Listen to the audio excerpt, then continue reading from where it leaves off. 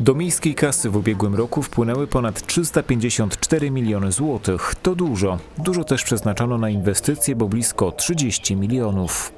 Kupiliśmy się w bieżącym roku na termomodernizacjach. Nasze budynki oświatowe, właściwie wszystkie przeszły e, termomodernizację. Duże inwestycje w mieście, te, na które pozyskaliśmy finansowanie zewnętrzne. A mowa tu m.in. o Pilskiej Wyspie i jej okolicach, nowych autobusach czy centrach przesiadkowych. Radni przyjęli uchwałę z wykonania budżetu. Budżet pozytywnie zaopiniowała też Regionalna Izba Obrachunkowa. Wykonanie budżetu jest podstawą udzielenia prezydentowi absolutorium. Przeciwko niemu głosowała z kolei opozycja. Radni PiS wytykają prezydentowi złe decyzje. które no, bezpośrednio uderzyły w mieszkańców. To decyzja związana z likwidacją Izby Wytrzeźwień, to decyzja z likwidacją etatów w bibliotekach, to doprowadziło do ograniczenia e, otwarcia funkcjonalności tych placówek. No i też e, decyzje związane z likwidacją etatów w placówkach oświatowych. A radni porozumienia samorządowego mówią o braku dialogu.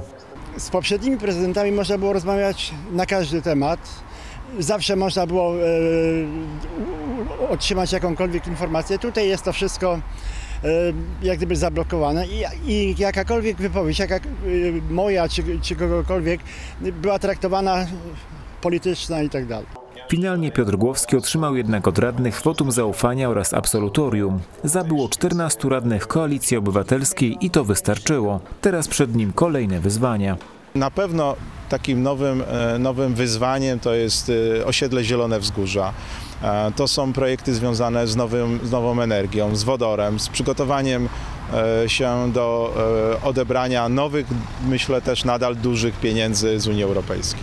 Ważnym kierunkiem, w jakim miasto ma się rozwijać, to ekologia oraz rozwój strefy przemysłowej.